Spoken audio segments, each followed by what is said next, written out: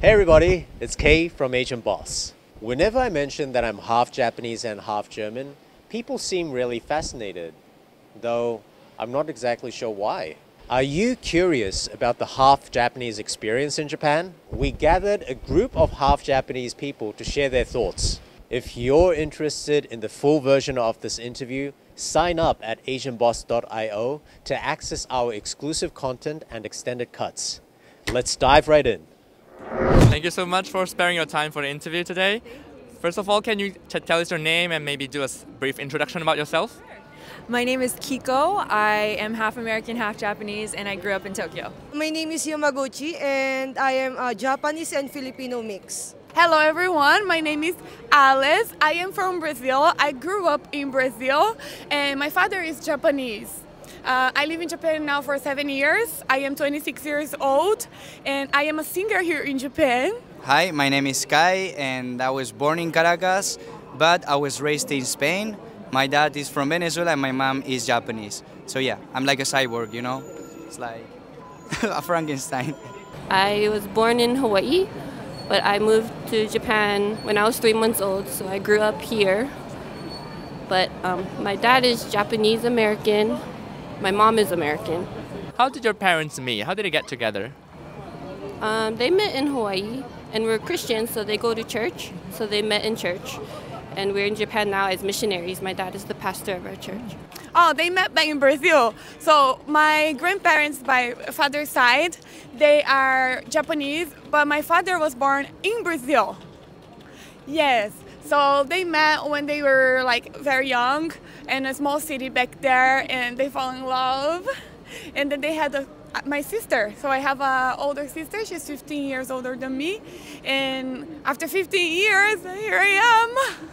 When my dad was a student um, back in university, he wanted he traveled the world for for a, a bit over a year. And out of all the 30 countries that he visited, he fell in love with Turkey. And ever since then, he started um, looking for jobs in Turkey. And he finally, you know, managed to find a job. And then um, he and then he ended up marrying my mom, yeah, in Turkey. Where did you grow up? In Japan or in the States? So I grew up mainly in Tokyo, but I went back and forth uh, to Denver, Colorado. I was born here and raised in Manila. So you were born here, and wh- at what age did you move to Manila? Like three years old. Up to I stayed in Manila three up to I finished my college degree.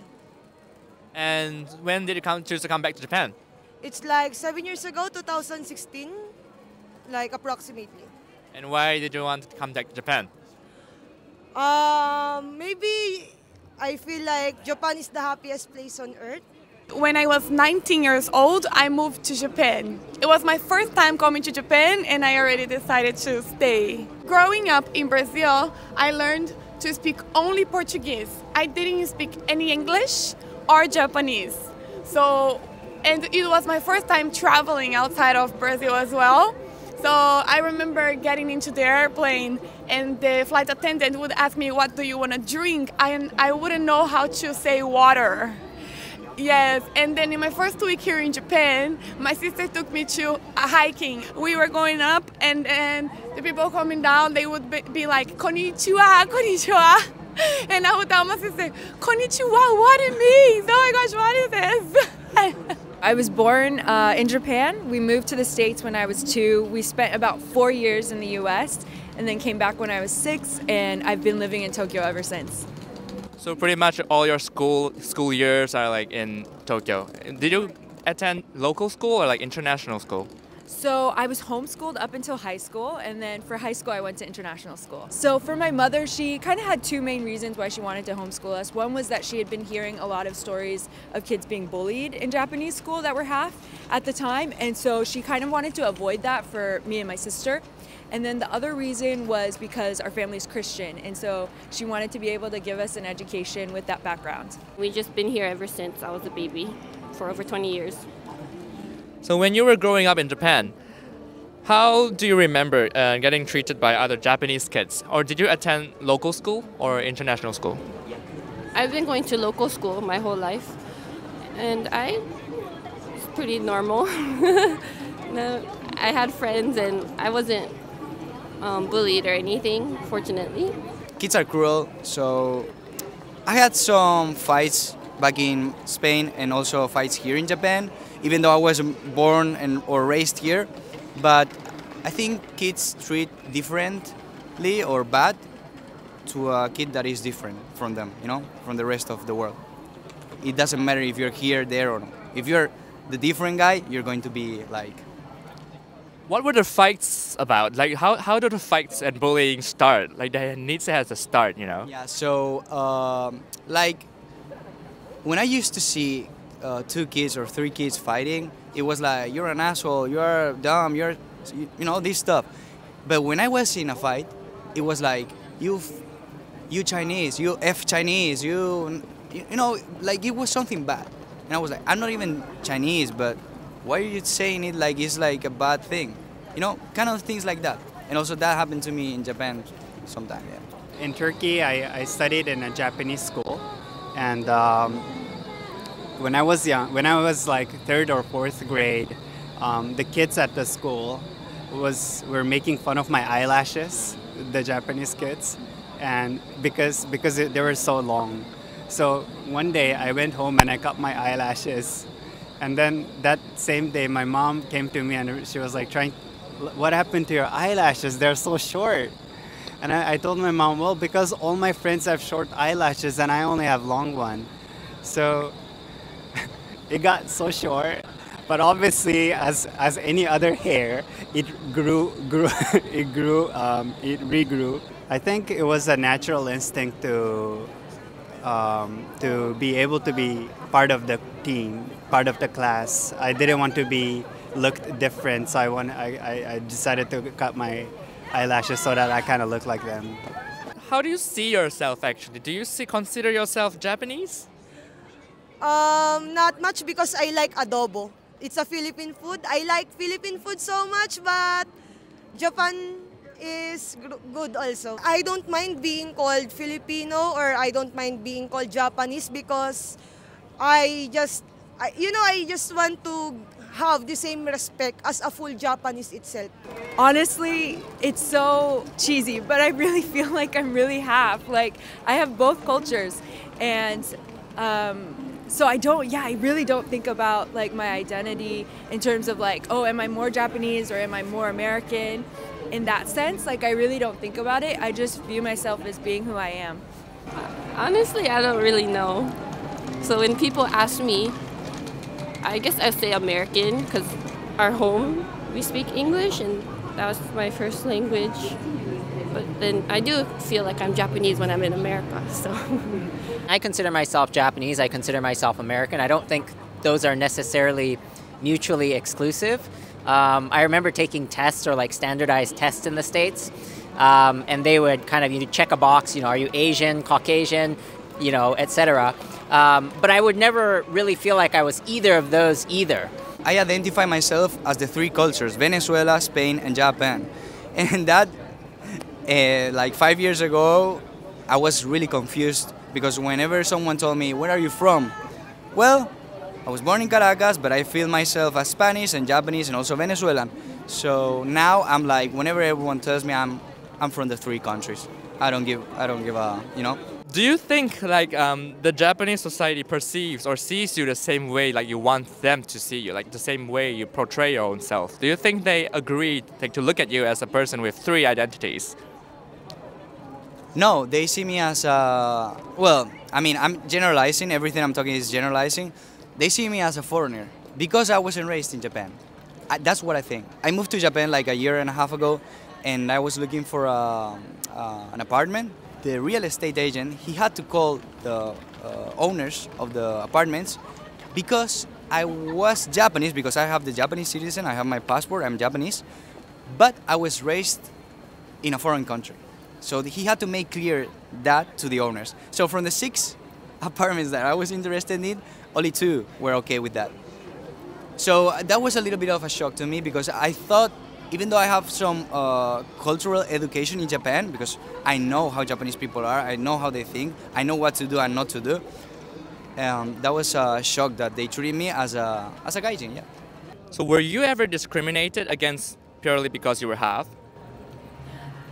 I would say, again, this is not that interesting of an answer, but no, I've never felt really discriminated against for being half. To be honest, here in Japan, like, even though I'm half, my passport is Japanese. Whenever that I say that I'm a Japanese, they think like I'm messing with them because, you know, the accent is different. And then at my work, um, it's not all of them, but most of the people here, like, they treat the half people with half of respect. And that's quite um, hard. Like my friend out there, she got harassed by a Japanese man inside the pachinko. Like we were playing pachinko and then a Japanese suddenly touched her breast. I contact the police and this is what happened. Like when that incident happened, I was like this and then oh, okay, I cannot beat this man. I was like this to the all of the buttons in pachinko. I press it all. And then when the police arrived, we are the one who's being interrogated. The Japanese man is the um, abuser, the hentai. He said, um, I asked if I can touch her boobs. And then she said, Hi, onegaishimasu.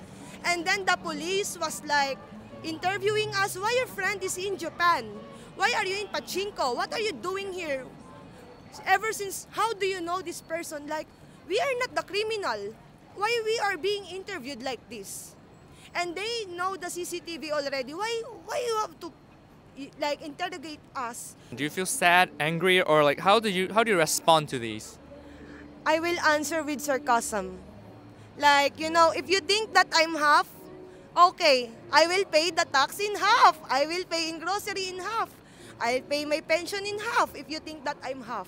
That should be our benefits as a half there's so many times that um, you know I think you're treated differently, but at the same time, it's not as blatant as maybe in the West. People won't shout at you and you know you know yell. Uh, racial slurs or slang, uh, but it's kind of how they look at you and how they treat you. I mean, on the train, I remember a certain example where an elderly man kind of said something to me. I think we were standing in the a section that's kind of reserved. It was a packed train, and I was I was in that kind of section. I was standing, but uh, he was talking to me while I was on my headphones, and I had to take my headphones off to to see, hear what he was saying, and he was just mumbling kind of gibberish.